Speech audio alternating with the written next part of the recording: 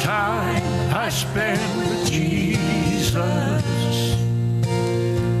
Sweet is the presence of the Lord,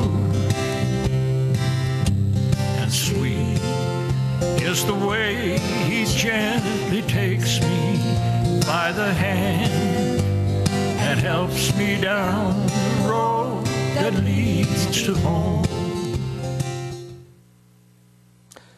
Hello, my name is Michael Neff, and I'm the pastor of Tabernacle of Praise in Hannibal, Missouri.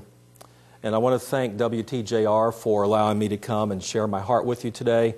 And I also want to thank you for allowing me to come and just spend a few minutes uh, with you. And hopefully, your ears are ready to receive and your heart ready to receive the word of the Lord today.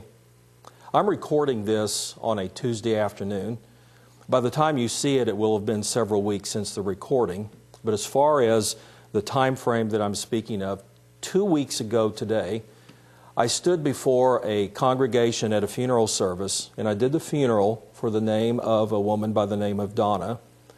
Some months before, Donna had been experiencing a number of physical uh, symptoms in her body, especially a severe ache in her legs. She worked on her feet a lot. She was on her feet throughout the day. In fact, she was a dietary director. And so she finally uh, went to the doctor to find out what was going on, and he examined her and he did a few tests. And essentially, what he said to her was, You're just having some severe pains. You know, you're getting up to a certain age now where you have to watch out and be careful. And uh, I just recommend that you stay off of your feet as much as possible and that uh, you take Advil. It wasn't very many days after that that Donna was again walking around doing her job when suddenly her leg just snapped. It broke. Well, come to find out, Donna had cancer in her leg, and she went through a long process, months and months of uh, treatment for cancer. And then finally, a few weeks ago, uh, the cancer uh, defeated her physical body. I am happy to say that her spiritual body went to heaven. Her heart was open to Jesus and she went to be with him. But the issue is this, and th- this is not in anything about the doctor or such as that. The issue is that there was something more severe going on in her body, and he said, Take Advil. The Advil did not address her need, it did not meet her need. It covered or masked the pain for a few moments, but it really did not take care of the issue. As I come to you today and I share a message titled The Ezekiel Project, I, I believe that there are very many pastors and churches who are allowing themselves to send people home with spiritual Advil. I remind you today that there are a couple of things that are eternal, one of those being the Word of God. God said, Heaven and earth will pass away, but my Word will live forever. But there's something else, a second thing that is eternal and is critical for us to understand today, and that is that our souls are eternal. Our bodies are the earthly house of our souls. When we die, our bodies will go away, they'll turn back dust to dust, ashes to ashes, all that. But our souls will live forever. The fact of the matter is that there are a number of people around us who have some influence or some kind of bearing on our spiritual health and the condition of our souls. I'm addressing this in the Ezekiel Project. In a few moments, I'm going to read for you from Ezekiel 1. And if you happen to find that, I'm going to ask you just to hold your places there, for then we're going to take a look at a few verses from chapter 2 of Ezekiel and also from chapter 3. When we approach the book of Ezekiel, one or two things are very helpful for us to understand. First and foremost, the name Ezekiel itself means God strengthens. God was about to give to Ezekiel a series of messages, a series of visions that, for one, if Ezekiel took them seriously, they would strengthen his soul. But also, the messages that Ezekiel was being given would also bring strength to the people if they would give heed to them, if they would believe with all of their heart. I believe that it's reasonable for us to connect a strength that God wants to give us through the message of Ezekiel. In Ezekiel chapter 1, it says, beginning in verse number 1, Now it came about in the thirtieth year, on the fifth day of the fourth month, while I was by the river Chebar among the exiles, the heavens were opened, and I saw visions of God. On the fifth of the month, in the fifth year of King Jehoiakim's exile, the word of the Lord came expressly to Ezekiel the priest, son of Buzi, in the land of the Chaldeans by the river Chebar. And there the hand of the Lord came upon him. Two things that are important to consider here just in this short passage. The first is, I read some names and dates in there that for most of us who are either hearing this today or for me who is speaking it, they're just a little bit different. They're from the Hebrew language, they're from an ancient land and an ancient place. And oftentimes, even as a much younger Christian, I wondered why did God put this in there? Why every time we come to a passage like this or a prophet speaks afresh or anew, it talks about these different names of places? It finally occurred to me a few years ago that the reason God put uh, some of that in there or those passages in there was to help us to understand that when God spoke and when God speaks, He speaks to real people in real time. God does not speak in a vacuum. God does not speak in some kind of vacant room somewhere. When God comes on the scene, He is coming to people who are living in real places in real time. If somebody were to read my diary uh, years from now, they would come to this date that I'm recording and they would see that I drove, Michael Neff drove from Hannibal, Missouri to Quincy, Illinois to a place called WTJR at 222 North 6th Street in Quincy, Illinois. And if they were from a foreign place or from another language, that would all sound strange to them. But they could also connect that this was a real event that occurred in a real time in the days that God spoke, He was speaking to real people, real time. And this is the case with Ezekiel. Another thing that uh, stands out about this passage is that it notes for us that Ezekiel was a priest. In other words, if I could put it into the vernacular of our day, he would be a pastor. He was, uh, he was being called to the Pastor Speaks program because he was a pastor, he was a minister. Most of us have this picture in our mind of pastoral ministry or pastors. And when we do, we often think, okay, pastors, they're trained. They, they have to go through a series of classes or programs or college or training schools, whatever, and they receive training to do what they do. They have to be trained to understand the scriptures. Uh, they have to be trained to understand doctrines and theology. They have to be trained on how to deal with people and much of what pastors do is very objective. Or, in other words, we have to meet objectives all the time. For example, I have to be prepared to preach this Sunday. I have to be prepared to do a meeting next week. I have to, I have to organize certain things and get people at certain places on certain times to fulfill the mission and purpose of our organization or of our church. And so I'm meeting objectives all of the time. And the thing that stands out most about pastoral ministry is the fact that we're always dealing with people and we love people and we care for people. If you're in the pastoral ministry and you don't love people and have a, a deep sense of passion, not only for God, but for them also, uh, they sense that and they will turn away from you. Well, something happens as we move from chapter 1 into chapter 2 and we discover that Ezekiel is undergoing what I call an expansion project. He, God, God is expanding him, thus the title, the Ezekiel Project. What we read in chapter 2 of Ezekiel are these words Then he said to me, verse 1 Then he said to me, Son of man, stand on your feet that I may speak with you. As he spoke to me, the Spirit entered me and set me on my feet, and I heard him speaking to me. Then he said to me, Son of man, I am sending you to the sons of Israel, to a rebellious people who have rebelled against me. They and their fathers have transgressed against me to this very day. I am sending you to them who are stubborn and obstinate children, and you shall say to them, Thus says the Lord God. As for them, whether they listen or not, for they are a rebellious house. They will know that a prophet has been among them. I don't know if you caught that or not, but it took me years of reading through Scripture and even reading this book, these verses, before I saw it. In chapter 1, Ezekiel is the pastor, he's the priest. In Ezekiel chapter 2, he becomes Ezekiel the prophet. He is what I now call the pastor prophet. When I have, or, uh, I think of the, uh, the picture of the prophet in my mind, it is in many ways similar to that of a pastor, but there are some other features that go along with that.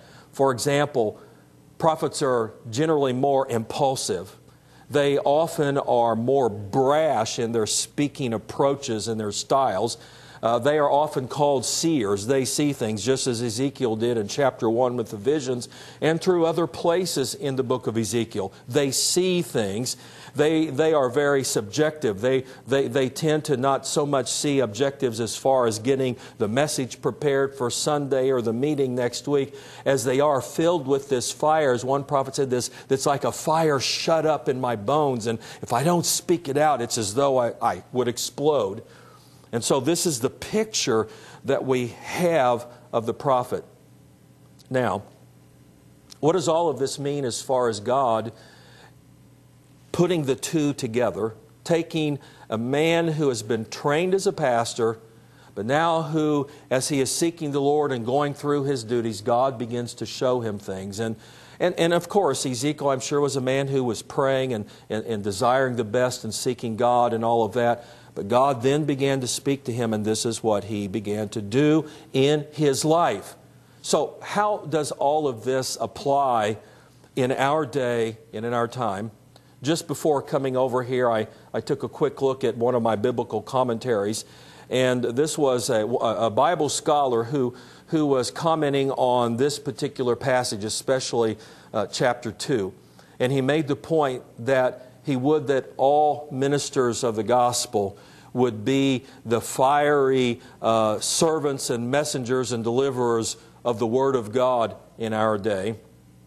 I believe that it's reasonable to draw application for our day from these passages. Romans chapter 15 tells us that we are to learn from the Old Testament scriptures. Romans 15 tells us that as we learn from them, it develops and creates and, and builds up hope within our lives. We are also told in Ephesians chapter 4 that God has given certain gifts to the New Testament church. He has given apostles and prophets, evangelists, pastors, and teachers. Go back again to the book of Romans, chapter 12. And we are told that if any man prophesies, he is to prophesy with the faith that God has given him. Oftentimes, people misunderstand the idea of the prophet or the concept of the prophet. Essentially, it is, it is this a prophet is one who speaks forth with great confidence and clarity the Word of God. He's not predicting the future. He's not necessarily giving uh, detailed guidance to people's lives. And I know that's something that's very common in these days and time. Oftentimes, prophets are considered those who can walk into a crowd and start calling people out. And I'm, I'm not speaking against any of that. But what I'm saying is that the biblical concept of the prophet is speaking forth uh, with great boldness the message that God has given. And it's a, it's a message that the people, no matter how much they try to turn it off or not listen to it, they can't help but to hear it. And so, with this picture in mind, we come to our day and our time and how this can apply. Recently, I heard the story of a church that uh, I'm somewhat acquainted with its circumstances. This particular church, some time ago, had a pastor that came, a young pastor. They, they had had pastors, uh, of course, for years, and, and, and basically they had some older men who had pastored the, the church there. A younger pastor was called, he and his wife and his young family, they were called to go there and to serve. This particular pastor is very gifted. He was a great communicator and loved God and loved people. And immediately, this little church began to grow and began to thrive and prosper, and new people began to come in. What happened was, and unbeknownst to this pastor when he went there, there were people in leadership in that church who some years before had sinned and had never been rebuked. The woman who was married to the man now who was a deacon and a church leader, and the woman who had a place of influence in this church, they each, years before, while in that church, had had affairs with, with one another. They were married to other people, but they had had an affair with one another. They ended up leaving their spouses and then marrying one another, and over time had come to a place of actual leadership within that church. And because of the connection of the particular woman that I'm speaking of, because of who she was, she was never rebuked for her sin. And now, years later, as this young pastor comes in and with this sin in their background and, and, and, people in the church, the pastors and the people allowing this to happen because of their influence, now uh, ugly things were beginning to happen, and people came into this church. And these folks realized that they were about to lose their voting power, that they could no longer have control. And so they began to make trouble for this pastor, and he and his young family had to leave. They went for a long period of time without a pastor, and then another pastor came, and he had been there a couple of months when he spoke recently and he said, Folks, I'm going to share a series of messages with you, and it's all about clearing the spiritual garbage or junk or whatever out of our lives. And he said, Now, we need to start right here in our own house. He said, There are a number of you that were responsible for driving this pastor out and mistreating him and sinning against him. And I am here to tell you, as the messenger of God, that we must repent. You must repent if you had a hand in this, and you must ask his forgiveness. My friends, that's what I'm talking about when I say the pastor prophet. Yes, the pastor must love people, but he also must speak to them the things that will address the deep spiritual issues in their lives. We don't want to be like the doctor who said to Donna, Go home and take Advil. We don't want to be spiritual practitioners who give people spiritual Advil and then send them away. It is true, I've been in pastoral ministry for 30 plus years.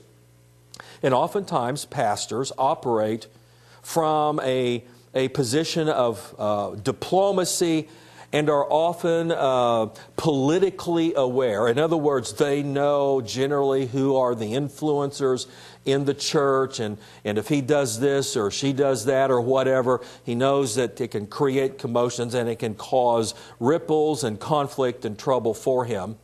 But I contend that when it comes to the preaching of the Word of God and to the message that God has given, pastors must begin to expand themselves and not just be diplomatic, but be bold declarers of the Word of God because people are dying in their sin.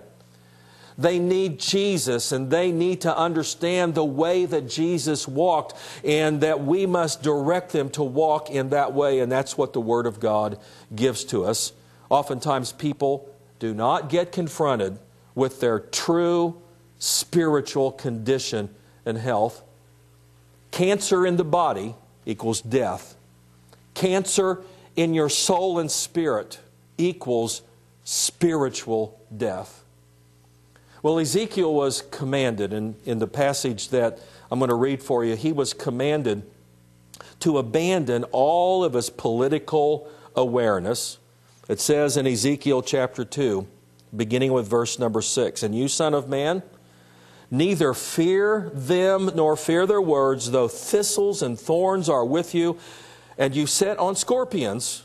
Neither fear their words nor be dismayed at their presence, for they are a rebellious house. But you shall speak my words to them, whether they listen or not, for they are rebellious.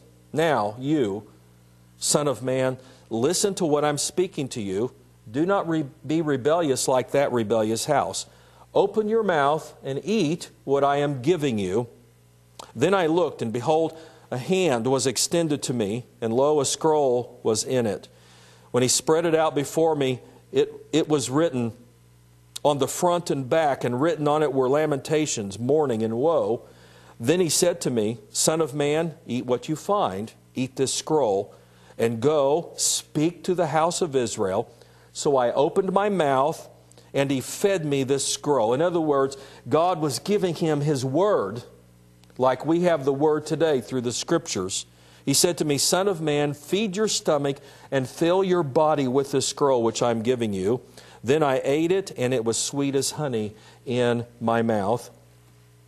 From the three portions that I've shared with you today, from Ezekiel 1, Ezekiel 2, and Ezekiel uh, chapters 2 and 3 here, I think that there are some things that uh, we can draw from that will help us as we begin to hear this call from God to speak boldly, even as pastors or as people who are praying for our pastors we can, we can draw from these passages some things that will be symptomatic or that will, will be manifestations of what it means when pastors begin to rise and to speak the word, word of God. First of all, the pastor prophet must consume the Word of God.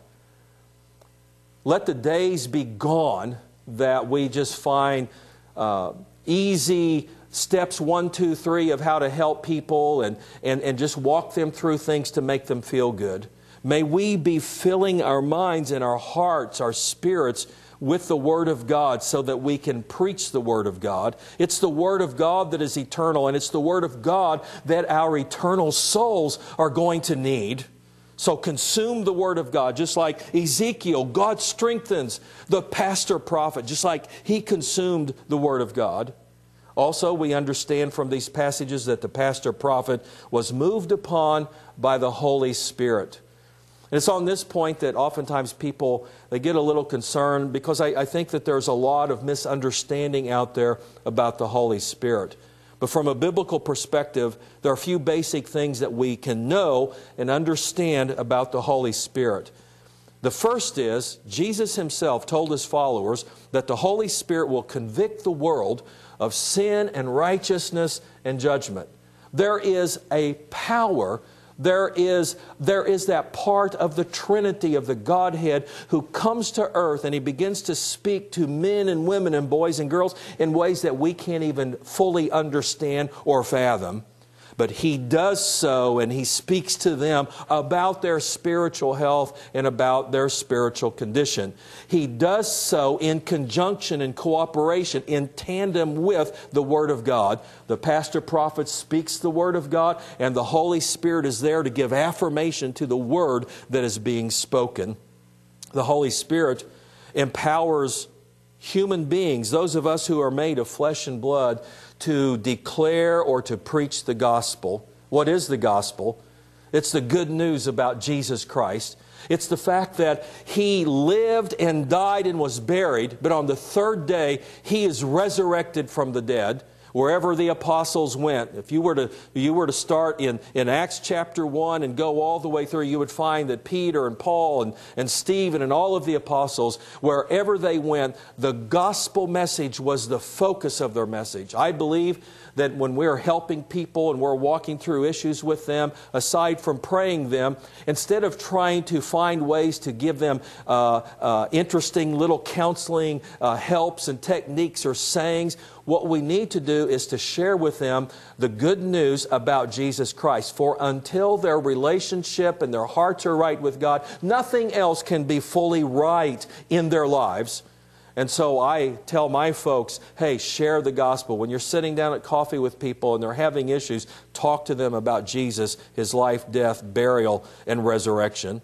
Also, the Holy Spirit operates in complete cooperation with the Word of God. He inspired the Word of God, and He's not going to tell us to do things that are outside or contrary to the Word of God. The pastor prophet speaks to all without discrimination. God told Ezekiel, Go to my people and speak to them. Well, as you, as you journey through the book of Ezekiel, you'll discover that he spoke to everyone.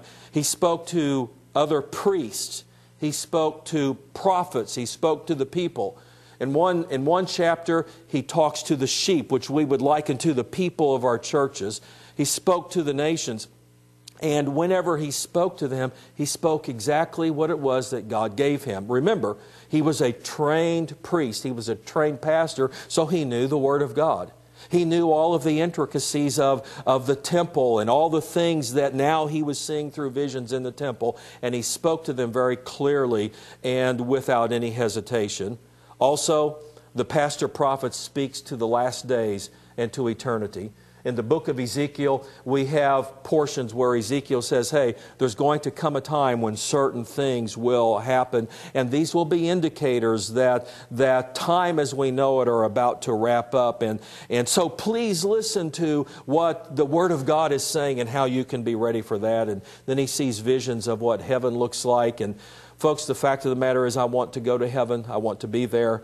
I believe that there is one way to heaven and that is the way Jesus Christ. He is the way, the truth, and the life. And I want to go there and I want to be a part of that day and that time. So I think that it behooves me and it would behoove you to pay close attention to the things that Ezekiel says and things that are affirmed and confirmed when we approach the New Testament scriptures as well.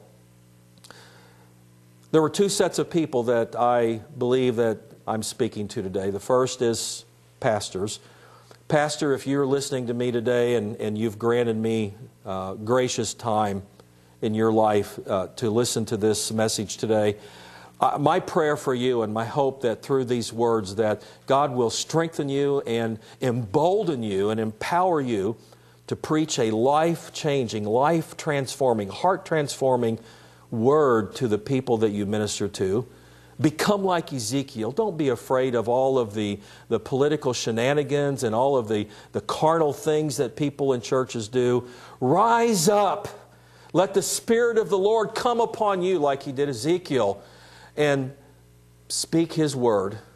Also, if you're listening to me today and, and you are not a pastor, you are a member in a church, and you care, you care about your church, you love your pastor, and you pray for him. I pray and I encourage you to, when you pray for him, pray that God will send your pastor uh, through the Ezekiel project, that he will begin to do an Ezekiel project in his life, that, that uh, you, you, you will pray, God anoint him and do mighty things in him, so that this next Sunday when he speaks, you can tell there's something different. There's a boldness, there's a confidence, there's a faith, and let it minister to your heart, soul, and spirit, and to the heart, soul, and spirits of all of those who are around you. Thank you again for letting me share my heart with you today and share the Word of God. I'd like to do one more thing. I want to share a blessing with you, and it's this. And now may the love of God and the grace of the Lord Jesus Christ and the fellowship of His Spirit be with you all. Amen. And sweet is the way He gently takes me by the hand and helps me down